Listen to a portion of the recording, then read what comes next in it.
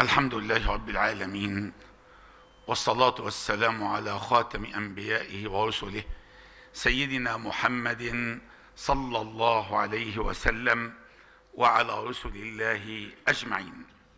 سيادة الرئيس عبد الفتاح السيسي رئيس الجمهورية الحضور الكريم يطيب لي أن أهنئ حضراتكم جميعا والشعب المصري كله والأمتين العربية والإسلامية والإنسانية جمعاء بذكرى مولد رسول الإنسانية سيدنا محمد صلى الله عليه وسلم. كما يسرني أن أهنئكم سيادة الرئيس وقواتنا المسلحة الباسلة بذكرى انتصارات أكتوبر المجيدة مقدرين تلك الإنجازات العظيمة التي تحققت في ظل قيادتكم الحكيمة على أرض مصر في مختلف المجالات. وبعد فلم تعرف البشرية عبر تاريخها الطويل ولن تعرف إلى أن تقوم الساعة إنسانا أنبل ولا أشرف ولا أعظم ولا أكرم ولا أعز على الله عز وجل ولا أرحم بالخلق من سيدنا رسول الله صلى الله عليه وسلم. والله والله ما حملت أنثى ولا وضعت أبر وأوفى ذمة من محمد وما في بقاع الأرض حيا وميتا ولا بين أرض والسماء كمحمد صلوا عليه وسلموا تسليما. فنبينا محمد صلى الله عليه وسلم هو نبي الإنسانية ورسولها سواء من حيث ما تضمنته رسالته من قيم أخلاقية قائمة على الأمانة والصدق أم من حيث كونها للناس كافة يقول الحق سبحانه وما أرسلناك إلا كافة للناس ويقول صلى الله عليه وسلم وكان كل نبي يبعث إلى قومه خاصة وبعثت إلى الناس كافة وأعطيت الشفاعة. أم كان ذلك من جهة ما تضمنته الرسالة المحمدية من جوانب إنسانية وتكريم الإنسان لكونه إنسانا بغض النظر عن دينه أو لونه أو جنسه أو عرقه أو لغته حيث يقول الحق سبحانه ولقد كرمنا بني آدم فكرم الإنسان على إطلاق إنسانيته دون تمييز وحين مرت جنازة على سيدنا رسول الله صلى الله عليه وسلم وقف صلى الله عليه وسلم إجلالا للموقف ومواساة لأهل الميت. فقيل له يا رسول الله إنها جنازة يهودي. فقال صلى الله عليه وسلم أليست نفسا؟ في تقدير عظيم لقيمة الإنسان لكونه إنسانا.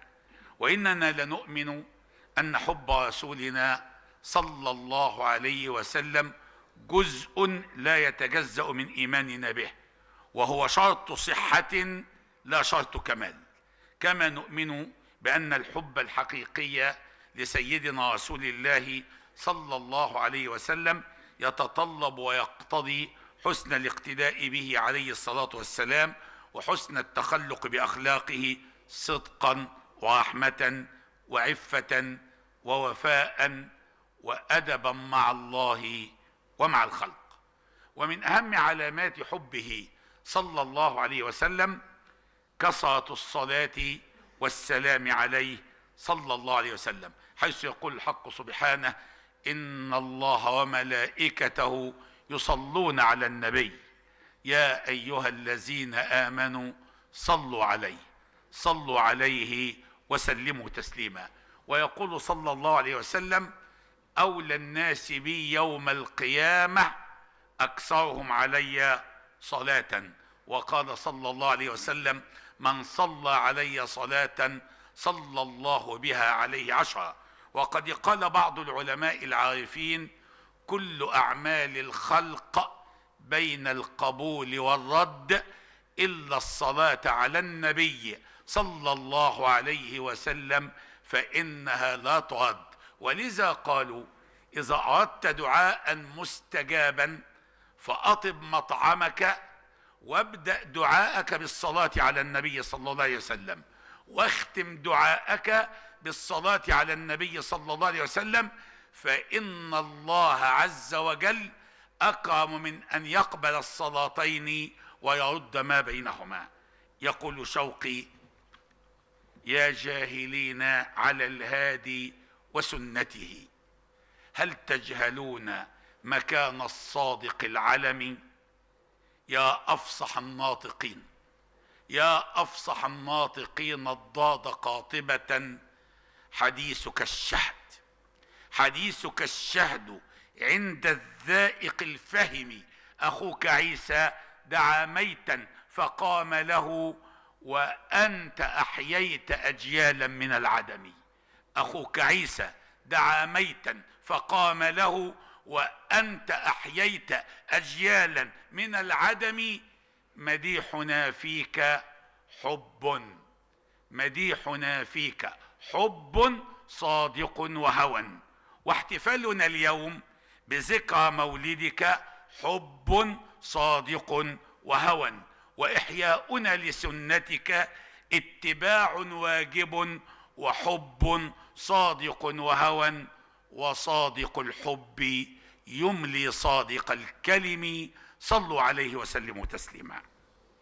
أسأل الله العلي العظيم أن يجزيكم سيادة الرئيس خير الجزاء عما تقدمون في خدمة الدين والوطن والإنسانية وأن يكلل جهود سيادتكم بمزيد من النجاح والتوفيق ويسرني أن أقدم لسيادتكم باسمي وباسم علماء الأوقاف وأئمتها وواعظاتها وجميع العاملين بها هدية وزارة الأوقاف موسوعة الثقافة الإسلامية وهي من أحدث إصدارات الأوقاف في مجال تجديد الخطاب الديني وكل عام وسيادتكم بكل خير والسلام عليكم ورحمة الله وبركاته.